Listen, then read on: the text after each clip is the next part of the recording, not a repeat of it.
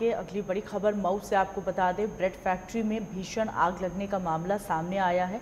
आग से पूरी ब्रेड फैक्ट्री जलकर राख हो गई है। घोसी नगर के प्रभुनाथ रोड पर फैक्ट्री है। ग्रामीण और फायर ब्रिगेड आग बुझाने में जुटे तो ब्रेड फैक्ट्री में आग लगने का मामला सामने आया। मऊ में ब्रेड फैक्ट्री में भीषण आग लग गई। पूरी ब्रेड फैक्ट्री जलकर राख हो गई।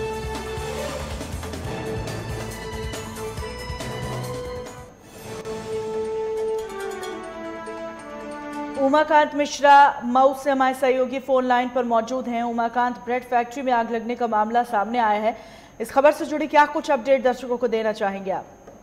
ये आपको बता दें, ये घोसी कोतवाली का ये मामला है। ये प्रभुनाथ रोड एक है, जो सैयद साहिद ब्रेड फैक्ट्री थी अब अभी आग लगने की तो कोई पुष्टि नहीं हो पाई है कि इलेक्ट्रिक से शॉर्ट सर्किट द्वारा लगी है किस, लेकिन आग लगने के कारण पूरी फैक्ट्री उनकी जल के खाक हो गई है और वहाँ पे मौके पे फायर ब्रिगेड भी तत्काल नहीं पहुँच पाई है।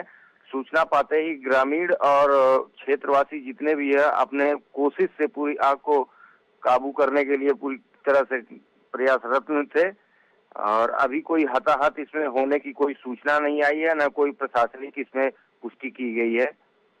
जी। तमाम जानकारियों के लिए शुक्रिया आपका उमा का